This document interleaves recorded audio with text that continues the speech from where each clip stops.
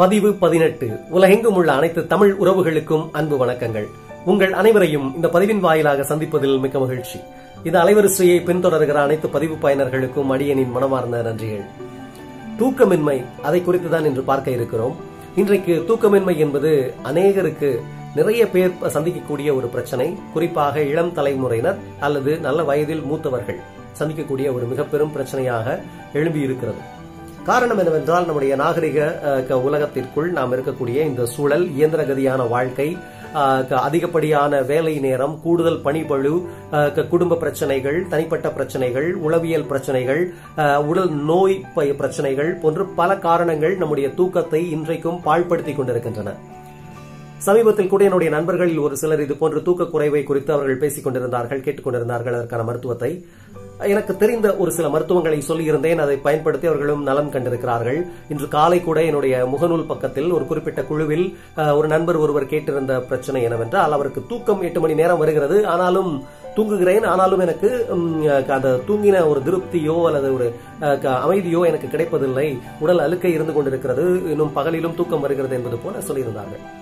பொதுவாக இன்றைக்கு நாம் நம்முடைய அஹ், நேர குறைவின் காரணமாக அதாவது அந்த காலத்தில் எல்லாம் ஒரு ஏழு எட்டு மணிக்கெல்லாம் தூங்கி விடுவார்கள் காலை நான்கு மணிக்கு விழித்து விடுவார்கள்.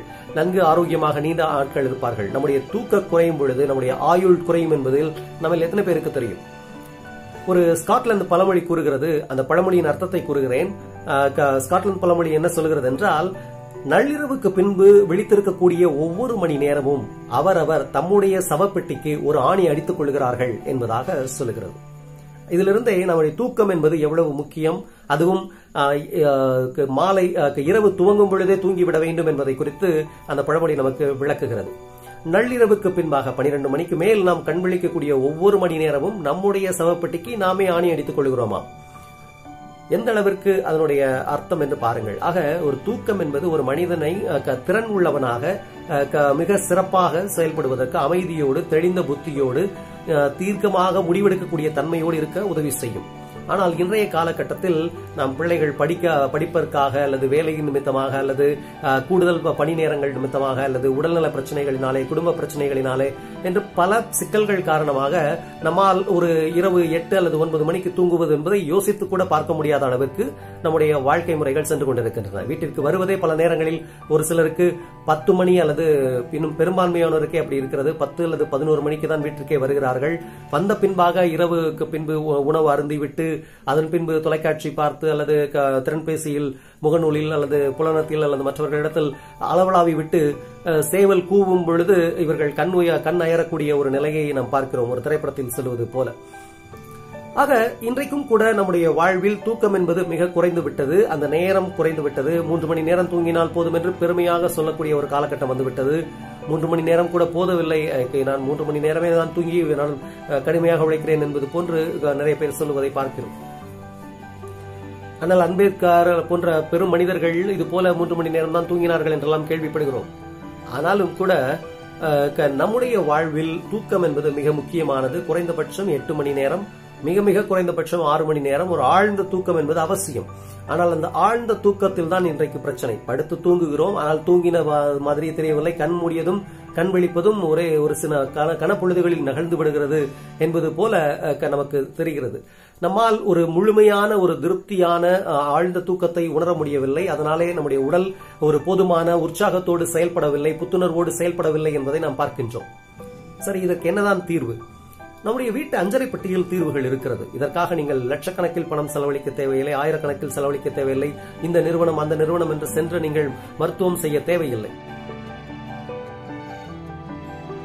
வீட்டில் இருக்கக்கூடிய கசகசாவை எடுத்துக்கொள்ளுங்கள் ஒரு அரை தேக்கரண்டி அளவிற்கு எடுத்து ஒரு கிளாஸ் அளவுக்கு இருக்கக்கூடிய பசும்பாலில் அரை தேக்கரண்டி அளவு கசகசாவை இட்டு கொதிக்க வைத்து நான் ஓரளவுக்கு குடிக்கும் பக்குவத்தில் சர்க்கரை கலந்து நீங்கள் குடிக்கலாம். நாட்டு சர்க்கரை பனங்கற்கண்டு அல்லது தேன் போன்றவற்றை கலந்து நீங்கள் குடிக்கலாம்.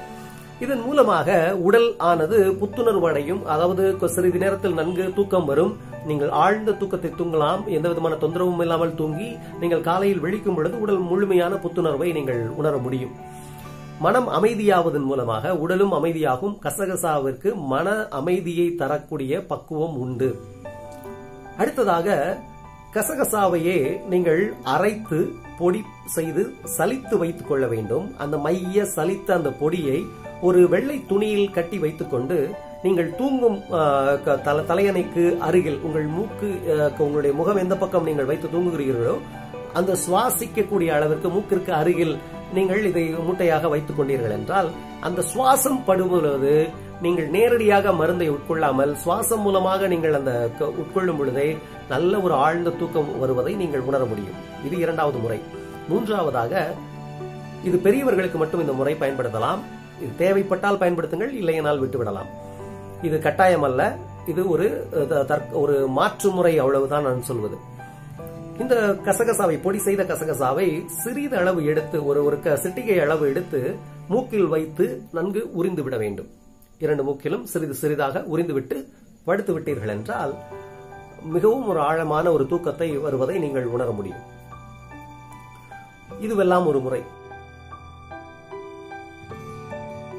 இது போக கசகசாவை மாதுளம் பழம் சாரிலே ஊற வைத்து அரைத்து அந்த மாதுளம் பழம் சாறை நீங்கள் அருந்திவிட்டு இரவு சாப்பிட்டு விட்டு வந்தீர்கள் என்றாலும் அது நல்ல தூக்கத்தை கொடுக்கக்கூடியதாக அமைந்திருக்கும். அதுவும் உடல் நலக்கு நல்ல பயன் அளிக்கும் கூடுதலாக இன்னொரு பொருள் நம்முடைய அஞ்சலைப்பட்டியில் இருக்கக்கூடிய பொருள் தான் சீரகம். ஏற்கனவே வயிற்றுப்புண்ணிற்கான ஒரு மருத்துவத்தில் சீரகத்தை குறித்து பேசியிருப்பேன். ஆனால் இந்த இடத்திலே சீரகம் தூக்கத்துக்கு ஒரு மருந்தாக பயன்படுகிறது. இதற்கு என்ன செய்ய வேண்டும்? ஒரு இரும்பு வானொலி அஹ், ஒரு சட்டி ஒன்றை எடுத்துக்கொள்ளுங்கள் அல்லது மண் சட்டி ஒன்றை எடுத்துக்கொள்ளுங்கள் இரும்பு சட்டி அல்லது மண் சட்டியை தவிர்த்து வேற எந்த சட்டியும் பயன்படுத்தக்கூடாது. இந்த இரும்பு அல்லது மண் சட்டியிலே நீங்கள் என்ன செய்ய வேண்டும்? உங்களுக்கு தேவையான அளவு க- சீரகத்தை எடுத்து பொன் வருவலாக வறுத்து அதை இடித்து சலித்து வைத்துக் கொள்ளுங்கள். ஒரு க- கண்ணாடி பா- குடுவையில் போட்டு வைத்துக் கொள்ளுங்கள். ஒவ்வொரு நாள் இரவும் கூட நீங்கள் சாப்பிட்டு முடித்த பின்பாக சா- இன்னும் சொல்ல போனால் சாப்பிடுவதற்கு முன்பு ஒரு வாழைப்பழம் ஒன்றை எந்த வகையான வாழைப்பழம் வேண்டுமானாலும் எடுத்துக்கொள்ளுங்கள் இந்த மோரிஸ் என்று சொல்லக்கூடிய ஒரு மஞ்சள் வாழைப்பழம் நெய் வாழை என்று சொல்வார்கள். அதை தவிர்த்து விட்டு நாட்டு வாழைப்பழங்கள் எதுவாக இருந்தாலும் அது ரஸ்தாலியோ பூவனோ அல்லது பச்சலாடப்பழம் அல்லது பச்சைப்பழம் போன்ற எந்த ஒரு வாழைப்பழம் வேண்டுமானாலும் எடுத்துக்கொள்ளுங்கள் அந்த வாழைப்பழத்தை எடுத்து தோலை மெதுவாக க- ஒரு பக்கமாக உரித்து விட்டு கத்தி வைத்து நடு நடுவிலே நெடுக்க நெடுவாட்டில் லேசாக பிளந்து அந்த பிளவிலே இந்த அரைத்து வறுத்து பொடி செய்த அந்த சீரகத்தூள் இருக்கிறது இல்லையா? அதுல ஒரு அரை தேக்கரண்டி எடுத்து அந்த குறுக்கு வாட்டில் வைத்து அந்த பள்ளத்தில் வைத்து மறுபடியும் மூடி விடுங்கள். மூடி ஒரு ஓரமாக வைத்து விட்டு நீங்கள் உணவு அருந்தி விட்டு ஒரு கால் மணி நேரம் நீங்கள் உணவு அருந்தி ஒரு கால் மணி நேரம் அல்லது அரை மணி நேரம் கழித்து இந்த ஏற்கனவே க- சீரகத்தை வைத்து மூடிய வாழைப்பழத்தை எடுத்து கடித்து மென்று சாப்பிட்டு விடுங்கள். அதன் பின்பு நீங்க தூங்க செல்லலாம். அதுவும் நல்ல ஒரு தூக்கத்தை கொடுக்கும்.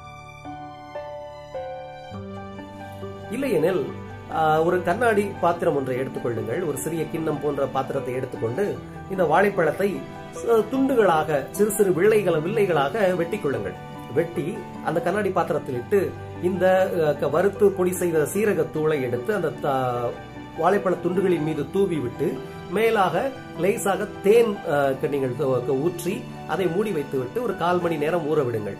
நீங்கள் வழக்கம் போல சாப்பிட்டு விட்டு இரவு சாப்பாடு சாப்பிட்ட பின்பாக ஒரு கால் மணி நேரமோ அரை மணி நேரமோ கழித்து அதை நீங்கள் எடுத்து கையிலோ அல்லது ஒரு கரண்டியிலோ எடுத்து அந்த பழங்களை நீங்கள் தேனோடு கூடிய சீரக பொடியோடு கூடிய வாழைப்பழங்களை சாப்பிட்டு விடலாம் இதுவும் நன்கு வேலை செய்யும். இதிலே கூடுதலாக என்ன பலன் என்றால் சீரகம் இருப்பதினாலே அதுவும் வறுத்து பொடி செய்த சீரகம் என்பதனாலே அது வயிற்றுக்கு நன்கு சிறப்பாக வேலை செய்யும் செரிமான தன்மையை அதிகரிக்கும் வாழைப்பழமும் கூட சேர்ந்து வேலை செய்யும் தேன் கூடுதலாக வேலை செய்யும். இது எல்லாம் சேர்ந்து மூவொன்றையும் சேர்த்து நம்ம அப்படி சாப்பிடும் பொழுது வயிற்றில் இருக்கக்கூடிய கழிவுகள் காலையில் நீங்குவதோடு உடல் ஆரோக்கியமாக மிகவும் சுறுசுறுப்போடு கூட இருப்பதற்கு வழிவகை செய்யும். இது போன்ற முயற்சிகளை நீங்கள் செயல்படுத்தி பாருங்கள். நிச்சயமாக உங்களுடைய வாழ்க்கையில் தூக்கமின்மை என்கிற பிரச்சனையே இருக்காது. அதுவும் குறைந்த செலவில் நம்முடைய அன்றாட வீட்டில் பயன்படுத்துகிற ஒரு பொருட்களை கொண்டு நீங்கள் எளிதில் ஆரோக்கியம் பெற்றுக்கொள்ள முடியும். வளமோடு வாழ வாழ்த்துக்கள். மீண்டும் அடுத்த பதிவில் சந்திப்போம். நன்றி வணக்கம்.